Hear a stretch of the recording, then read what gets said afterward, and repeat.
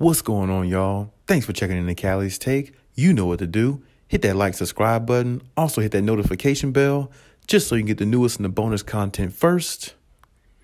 But hey, let's just go ahead and jump right in. You know, it looks like Ty Lue is still confused about who he wants to be the starting point guard, and the season is approaching a lot faster than what we can even imagine right now. Because preseason is now, and you know the season is right upon us, and it seems like the Clippers are still kind of confused about who they want their point guard to be. And you know, when I when I when I think about that, you know, it just tells me how hard these guys are playing. Between Reggie Jackson and John Wall, both of them are playing hard. Both of them are getting physical. Both of them are playing very good in the workouts, and both of them are looking very good based upon the reports that I'm seeing.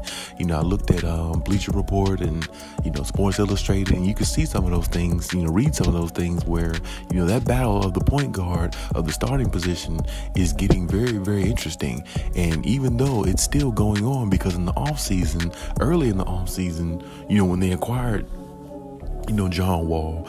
Um, Ty Lue put it out there then that it'd be a battle to see who would be the starting point guard. They would battle it out between him and Reggie. And the fact that they both have respect for each other and, you know, happy that they're on each other's team and their teammates and they're both battling with good competitive competition is is is very in, insightful if you're a Clippers fan because it shows you that you got two guys that can play the position pretty well and two guys position at a high enough level to be a starter. Now, as I said before, Reggie Jackson to me is a number two player. He is a shooting guard over a point guard any day. But in the same time, he, he has played point guard for the Clippers the last couple seasons and played it pretty well. And, you know, that's why I think you know, it's hard to really make a decision for Ty Lue because Reggie Jackson is used to playing with the Clippers and he's used to playing in that point guard position, whereas John Wall is not used to playing with the Clippers, but he's a natural uh, point guard.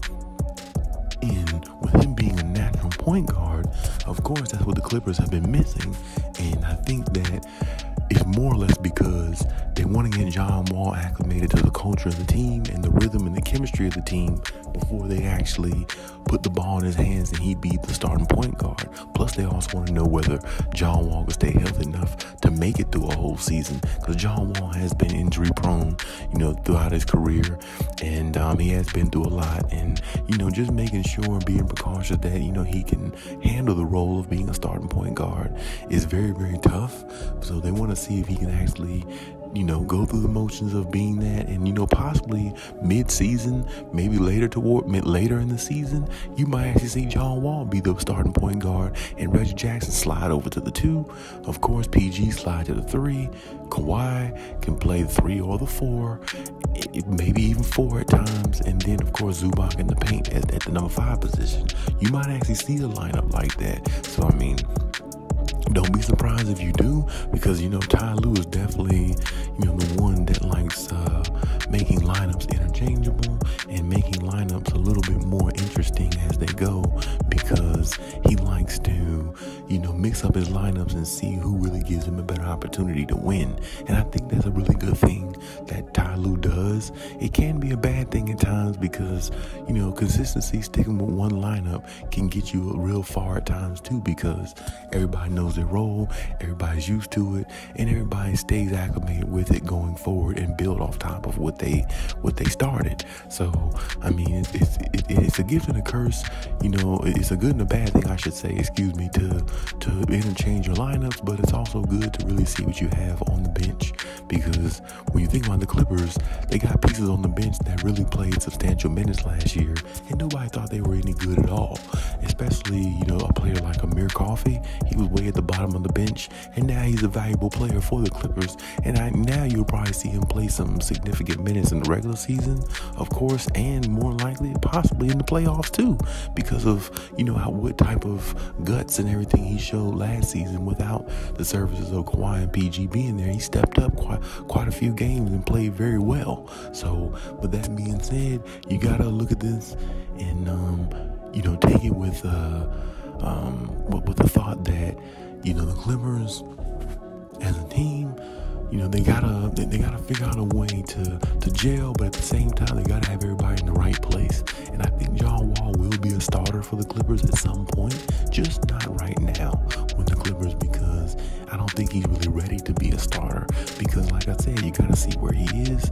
He hasn't played meaningful basketball in a while, and he hasn't played for a team that was worth a damn in a while. So I mean, you know, playing for a team like the Clippers that's built for a championship, they got to have John Wall be on point. That he can't be, you know, half-assing. He has to be the John Wall close to what he was, you know, back then. He doesn't have to quite be that, but at times he has to be. He has to show flashes of that and still play consistent basketball, consistent high IQ basketball, high IQ basketball to help the Clippers win.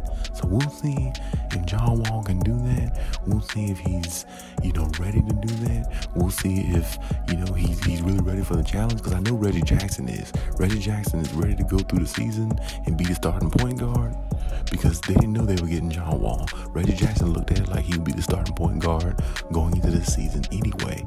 So, with that being said, but either way, I expect, you know, either guy who's out there on the floor to play their their best, give it their all, and be the best they can be because both guys are going to be needed to win a championship. Both guys are going to be needed to go through the motions of the season and see how they can pan out and see who can actually give the Clippers the best chance to be the starter.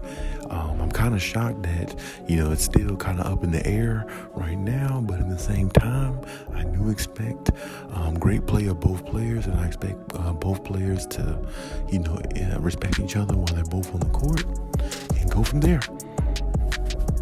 Okay.